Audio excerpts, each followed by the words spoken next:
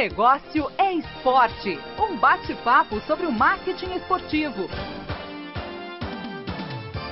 Olá, eu sou Sérgio Carvalho. O Negócio é Esporte dessa semana conversou com o economista do BNDES e coautor do livro O Rio e a Bola.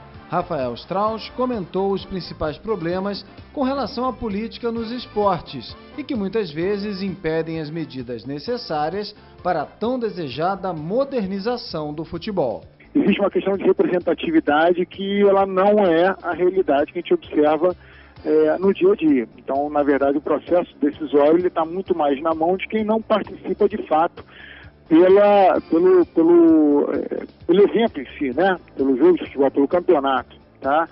Então a gente acha que isso é uma disfunção e, e, e a solução passa ou pelo reequilíbrio é, de representatividade ou eventualmente pela criação de uma liga, né, por parte dos clubes, onde eles teriam um processo decisório melhor e aí eles poderiam, por exemplo, montar um calendário mais adequado, né, que tiver, levasse em consideração os outros campeonatos do ano.